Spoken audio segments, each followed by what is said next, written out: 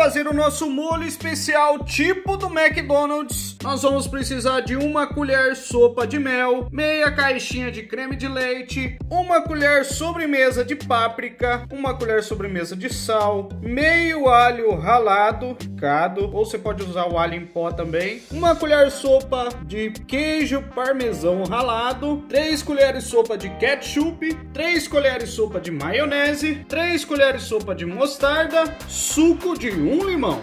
Aí o próximo passo da nossa receita é colocar esses temperos aqui. Nós vamos colocar o suco do limão para dar uma dissolvida e acrescentar todos os outros ingredientes.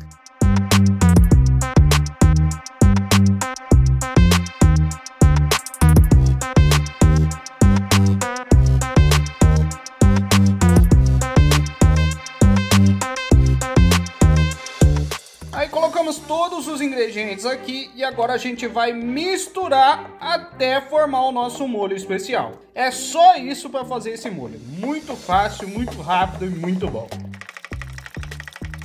Ó, pessoal, misturamos bem aqui e tá pronto o nosso molho que você pode comer com o que você quiser. Se quiser colocar no hambúrguer, se quiser colocar em bolinha de queijo, coxinha, o que vocês acharem melhor aí.